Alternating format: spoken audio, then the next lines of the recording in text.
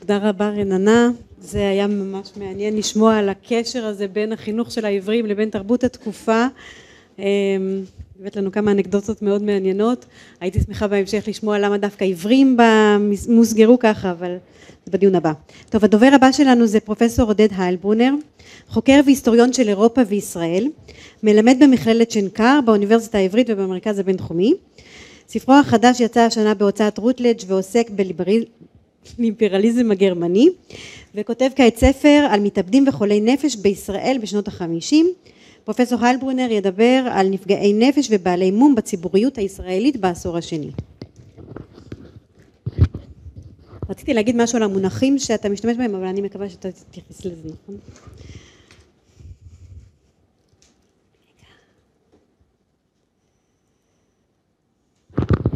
עכשיו יותר טוב? אוקיי. אז uh, תודה רבה שהזמנתם אותי לכנס, כנס uh, מאוד חשוב. אני, לפני שאני אפתח בהרצאה שלי, אני קצת אציג כיצד הגעתי לנושא הזה.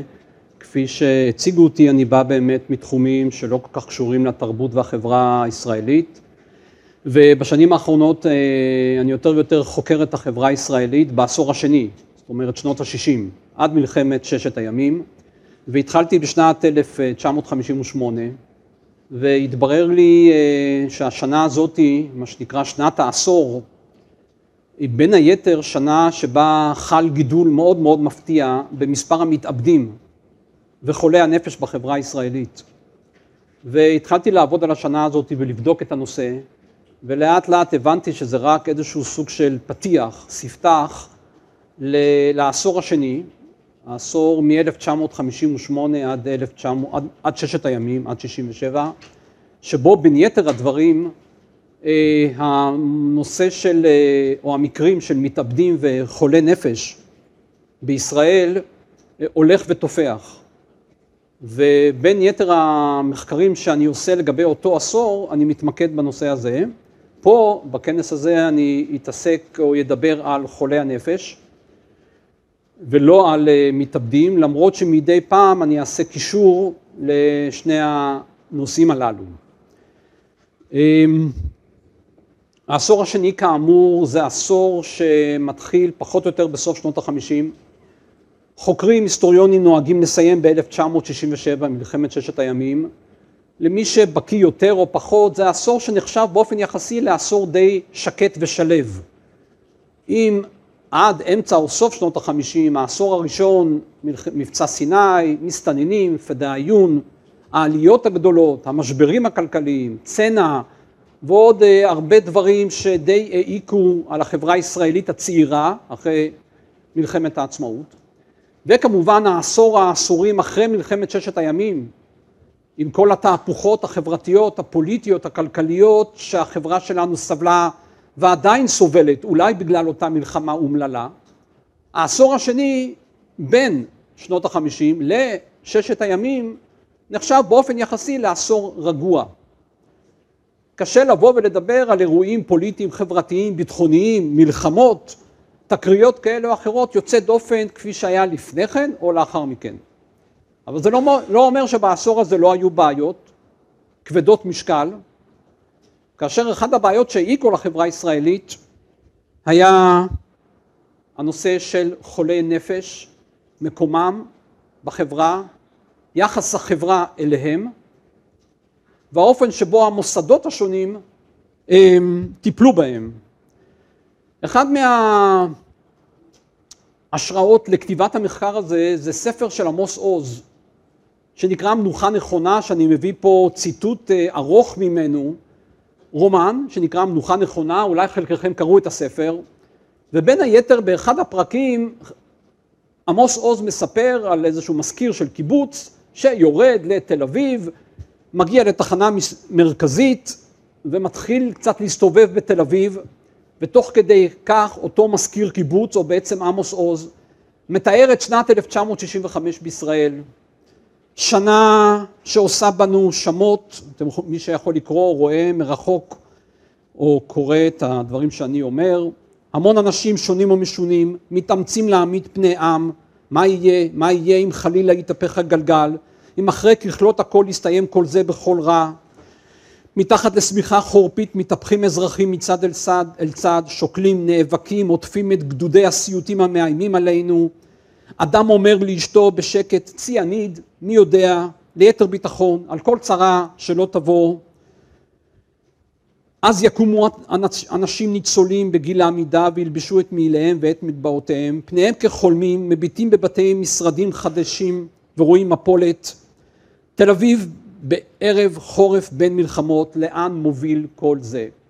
עמוס עוז בפרק הגדול הזה, שהוא מתאר כמובן בלשון פרוזאית לחלוטין, יחסית מדמיונו ואולי מדברים שהוא קרא ושמע, מתאר ישראל מסויטת בשנת 1965, כאשר כפי שאתם כבר קצת מנחשים, וזה יהיה אחד הכיוונים בהרצאה שלי, ניצולי שואה ממלאים פה תפקיד מאוד מרכזי. אורי אבנרי ב-1960 כותב בעולם הזה מאמר מערכת ואומר יש כנראה בעיה עם חיי הנפש של הציבור, כולכם יכולים לקרוא את הציטוט המדויק, ואולי כדאי אה, לעשות משהו לחזק את מערכת העצבים המעורערת של הציבור ולהבטיח והבטחת אמצעים שימנעו את התפשטות מגפת ההתאבדויות. הוא מדבר על התאבדויות, זה היה מכה חולה בישראל באותה תקופה, בין היתר הוא גם מדבר על, בלשון עיתונאית כמובן, קצת פומפוזית, על חיי הנפש של ציבור שלם.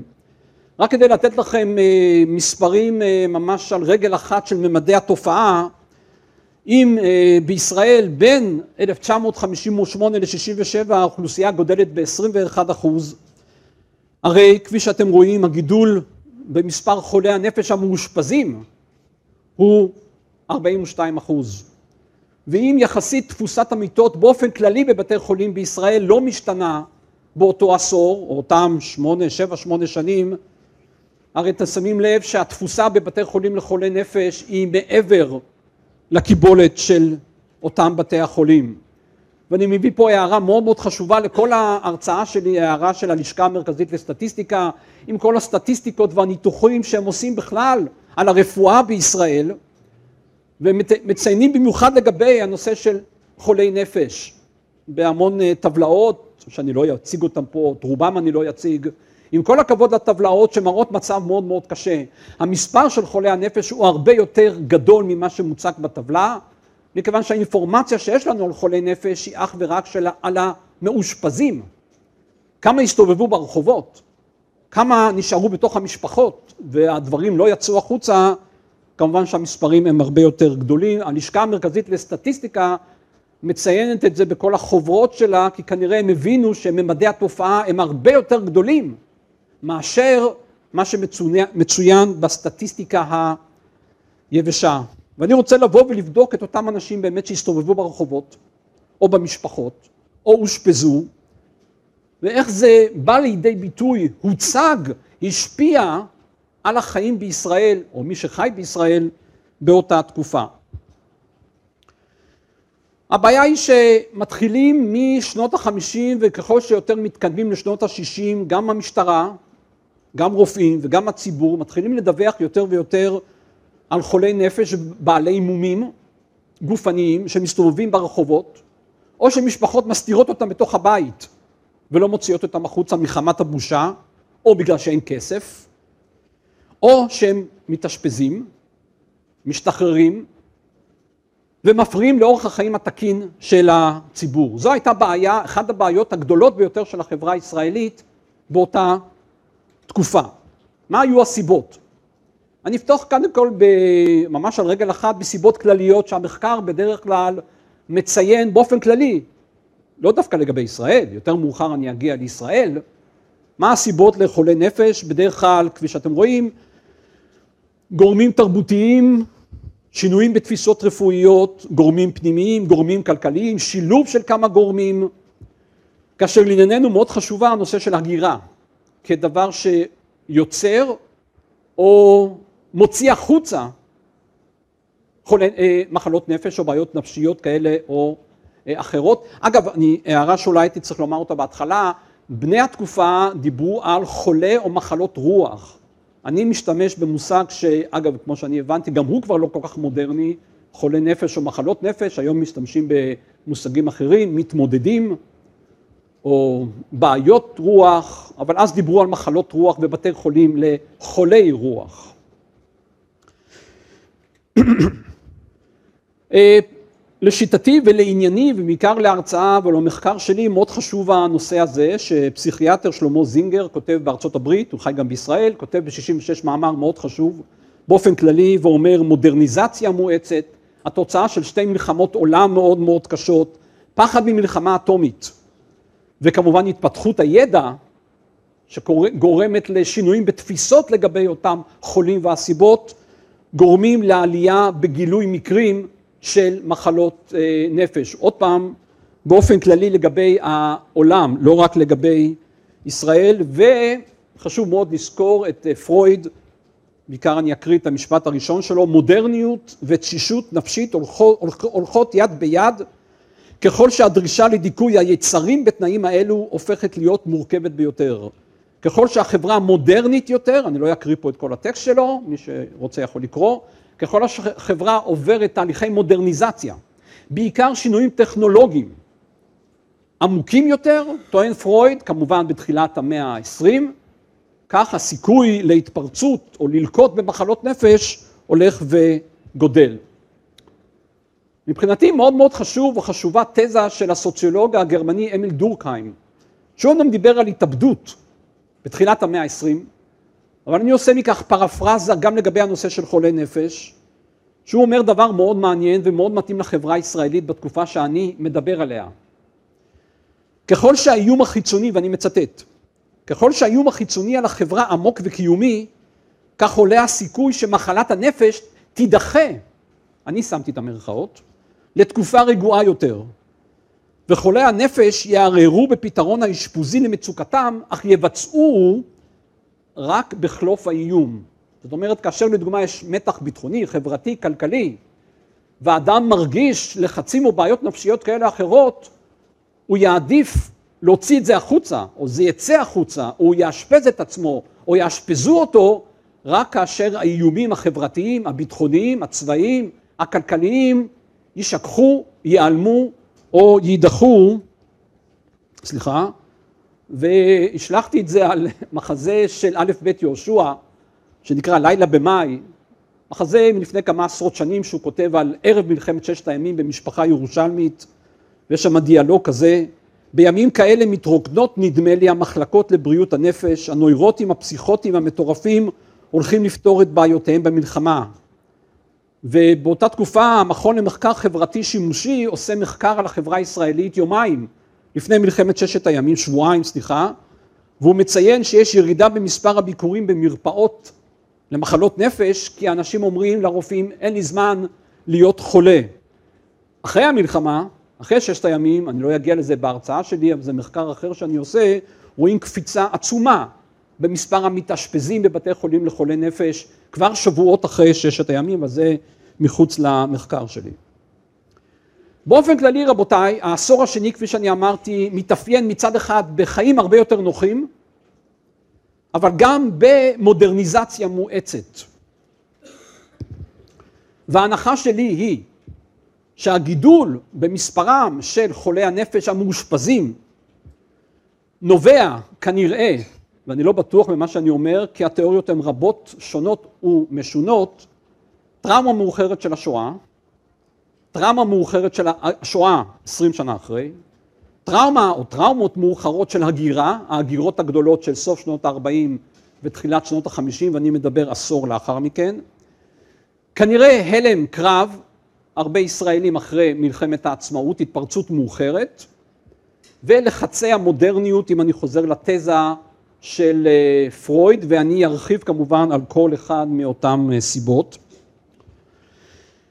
שני פסיכולוגים, פסיכיאטרים ישראלים כותבים ב-63 מחקר מאוד חשוב על הנושא של הגירה וכיצד הדבר הזה תורם להתפרצות של עלייה במחלות נפש והם פחות או יותר באים ואומרים ישראל זה ארץ הגירה, הם הולכים עם התזה של ההגירה והדבר הזה גורם למה שזה גורם, מסבירים גם את הסיבות, מעשה הגירה קשור לרוב בעיבוד של סטטוס קודם ובצורך לבנותו מחדש. אני מדלג קצת, כל אלה עשויים לזעזע נפש בלתי יציבה ולגרום לרעות שונות ומשונות. הם מדברים גם על העולים מארצות האסלאם, שהם היו לערך חצי מכל העולים שעלו לישראל בשנות החמישים, שבירת המסגרת המשפחתית, שבירת המסגרת המשפחתית המסורתית, משברי ההסתגלות למשטר חיים תובעני, יותר בקרב העולים המזרחיים, כל הדברים האלה גם גורמים להתפרצות של מחלות נפש. היכן ראו את חולי הנפש? אני מציג כאן בפניכם מסמך שאני סימנתי בצהוב, לא יודע אם רואים אותו, מסמך מקורי מאותה תקופה, שתושבי שכונה ברחובות, סימנתי בצהוב, לא רואים גם את כל המסמך משום מה כרגע, אבל אני אקריא, מספרים על אישה בלתי שפויה בדעתה, האישה הזאת עומדת בפתח צריפה, המסמך מ-1961, האישה עומדת בפתח צריפה סמוך מאוד לביתנו וצועקת צעקות מחרידות, לעיתים קרובות החל מחמש בבוקר. מאז בואנו לכאן, טוענת, טוענים אותם תושבי בית או שכונה, טרם זכינו לזמן מנוחה, צעקותיה, צעקותיה מטרידות אותנו, היא מפחידה את הילדים, צועקת ומחרפת עד אימה, לא אחת תקפי, תקפו אנשים, אני מקריא מתוך המסמך שיש לי כאן לפניי. תושב בשכונה בירושלים כותב על ירושלים, על חולי הנפש שמתרוצצים ברחוב ללא מטרה ולא אחת. עוד שעה, תודה. והם מתקבלים בצחוק ובלעג ואף ברגימות אבנים. דיירי רחוב יהודה בירושלים מתלוננים במכתב לעירייה על אישה ששוכבת במיטה ומקללת בכל מיני קללות שבידיה שני סכינים, יוצאת החוצה ומאיימת על מי שנפגשת בו. רעש היווה סיבה מאוד מאוד אה, רצינית בישראל של אותה תקופה להוציא החוצה בעיות נפשיות כאלו או אחרות. אני מקריא, יש כל כך הרבה פסיכופטים אשר מתהלכים עם טרנזיסטורים פתוחים ברחובות. אם יש מוזיקה חדשות או מוזיקה ערבית, לא עלינו. מבין החולים שלי באים רבים, הוא פסיכיאטר, אשר סובלים מעצבנות, מתיחות וחוסר שינה בגלל מקלטים, מה שנקרא משדרי רדיו של השכנים, בקיצור רעש. שגורם לעצבים מאוד מאוד ראויים. אני יכול ככה להמשיך עם הרבה חומר שאני הצגתי פה, הכנתי פה בפניכם במצגת על הרעש של האוטובוסים, של המכוניות, של האופנועים, של הכלבים, של הילדים, שרופאים כותבים כמה הדבר הזה מעצבן אנשים והגיע הזמן להקים במשרד הבריאות מחלקה מיוחדת למניעת רעש, יש גם ליגה למניעת רעש. הרבה תיאורים בעיתונים על יושבים בקרן הרחוב חושפים את גופם הכואב והשרוט לעיני כל, הם מתיישבים בצידי המדרכה ומציגים מומים, או שהם משתמשים בילדים הרכים ביותר. במקרים רבים אנשים מעמידים עצמם כעיוורים או כבעלי מום, למרות שהם בריאים בנפשם, בגופם אך לא בנפשם. פושטי היד, חולי הנפש, שלבושם מרופט ומעורר זוועה. רופא משפחה כותב ב-1960 על אנשים שפונים, שרוצים להתאשפז, מרגישים כאבים כאן, מרגישים כאבים כאן. י"מ בן 39 ניצול מחנות פנה אלינו בגלל הקאות כל סבלותיו על רקע, רקע נפשי החולה מתפרץ כל פעם בבכי היסטורי, היסטרי מ"ד בן 42 חייט מופיע במרפאה הוא ניצול ממחנות הנאצים הוא כתב בדוח שלו ניציים הוא מוכן או היא מוכנה ללכת ישר למחלקה הפסיכיאטרית. דעה שהייתה באותה תקופה שרוב האלה שמאושפזים בבתי חולים לחולי נפש ונראה לי שאני לא אספיק להציג את כל המאושפזים ומי הם, הם בעיקר ממשפחות אשכנזיות שמתביישות במקרים שלהם אבל יש להם את הכסף לאשפז את אותם אנשים בניגוד למשפחות מזרחיות שגם מתביישות אבל מעדיפות להחזיק את חולי הנפש בתוך הבית. אה, אדלג קצת על אה, ברשות השידור באותה תקופה היה, יש תיקים שלמים של מה שנקרא מכתבי משוגעים, אנשים חולי נפש שכותבים לרשות השידור על כל מיני, הרדיו עוקב אחריהם, הם בוכים ליד הרדיו ומתפרקים, הם רוצים להתאשפז אחרי תוכנית רדיו כזו או אחרת, יש פה דוגמה על אישה שחושבת שברדיו מותקנת עינית ועוקבת אחריה, זה אגב היה אחרי רצח קנדי.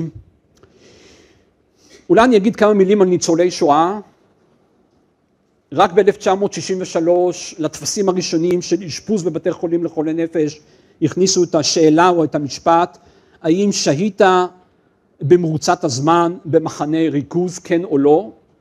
מחנה ריכוז נחשב באותה תקופה למקום האולטימטיבי שחשבו שרוב היהודים נמצאו, נמצאו לכן הכניסו שאלה כזו בטפסי הקבלה למחלות, לבתי חולים לחולי נפש. התעלמו מבורחים, מסתתרים, יושבי גטאות, עוד הרבה דברים אחרים.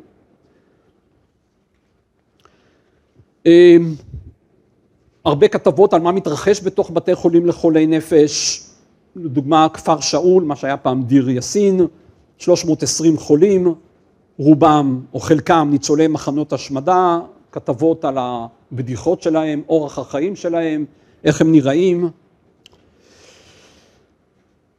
איך אפשר לבוא ולהסביר את הנושא של ניצולי שואה והקשר שלהם למחלות נפש? מרק דבורג'סקי, רופא מאוד מאוד חשוב, ניצול מחנות שעשה שורה ארוכה של מחקרים על חולי נפש, ניצולי שואה, מדבר על תגובה מאוחרת לפעלתנות יתר, די מתאים לתזה של דורקהיים שהצגתי מקודם, וכותב, הם מגדלים משפחות, הם עסוקים, יום אחד אבל הילדים יעזבו את הבית, הם יהיו פחות פעילים, הם כנראה יתפרקו, ואשר הוק, פסיכיאטר מאותה תקופה, כותב על נשים אירופאיות שמתפרקות מכיוון שהמשפחה כבר עזבה את הבית, בניגוד לאישה המזרחית שעסוקה מדי מכדי לחלות מבחינה נפשית, כי היא עדיין מגדלת את אה, ילדיה.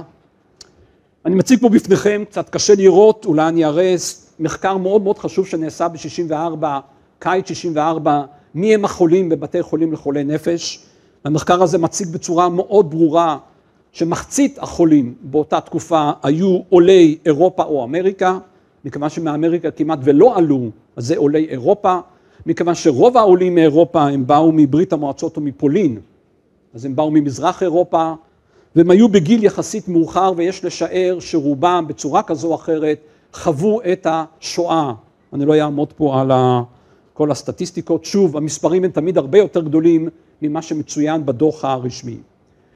אני מסיים, מסכם במסקנה שאותה אני די חוקר ומתעסק איתה בזמן האחרון, ואני קורא לה הדור של 1940.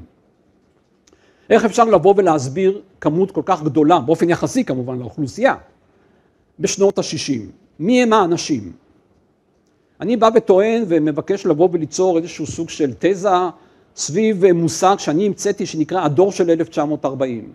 הדור של 1940, הכוונה היא לצעירים וצעירות בגילאים מאוד מעצבים מבחינת החיים שלהם, זה מאוד מאוד טבעי, פחות או יותר גיל העשרה עד אמצע שנות העשרים, שהם עברו חוויות רגשיות, אם לא יותר, מאוד מאוד קשות באירופה או בארץ ישראל, גטאות, מלחמות, שואה, טרור, חיפושים, מתח בלתי פוסק בגיל מאוד מאוד מעצב.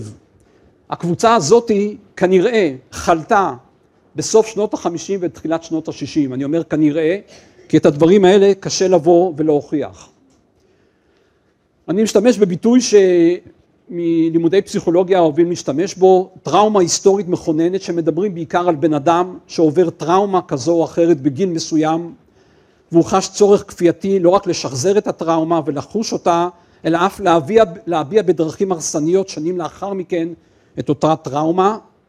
ויותר ויותר חוקרים מדברים היום לא על פרט, אלא על קבוצה, שאני קורא לה הדור של 1940, עושים לי כבר סימנים אז אני מסיים, ואני מסכם ואני מבקש להציע שחוויות של אלימות, אי ביטחון, מחסור ומתח קיומי כמעט יומיומי במהלך שנות ה-40 היוו חוויות, היוו חוויות מרכזיות עבור אותו דור.